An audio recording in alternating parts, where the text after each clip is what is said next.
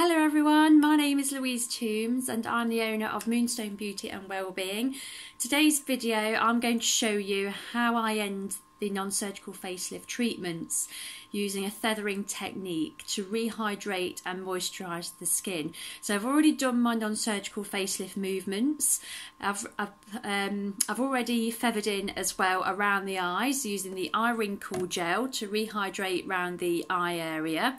I've also applied to expression lines uh, the collagen revital serum. So I've applied this to frown line, over the forehead, around my eyes, um, nose to mouth lines, and around the neck as well. So any areas of concern, I would apply that in your treatment. And I've also applied the Hydro Moisturising Cream to the rest of the face, as you can see. So I'm going to use this feathering technique with two probes and the microcurrent impulses will go through the probes and help the product penetrate deeper into the skin.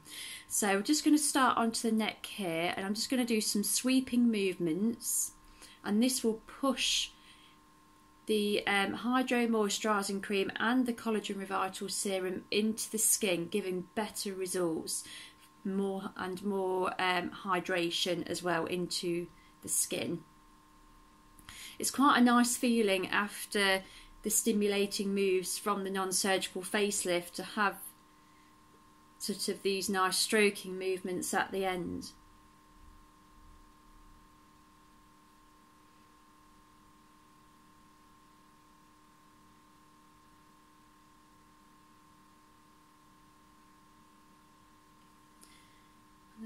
Forehead as well.